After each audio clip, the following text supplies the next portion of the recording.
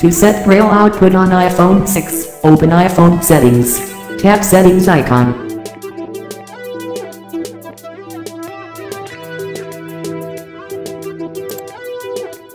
Scroll down.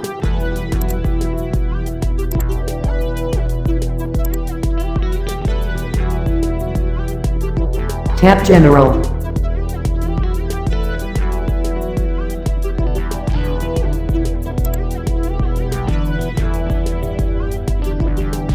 Tap Accessibility.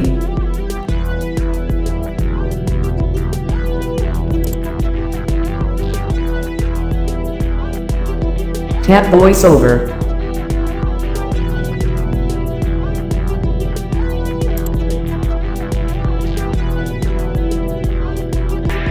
Tap Braille.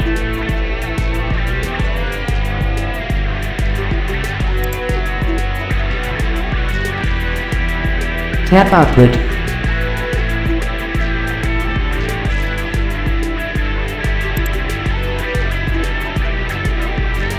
Select option you want. Uncontracted 6 dot Braille, And contracted 8 dot Braille, Or contracted Braille.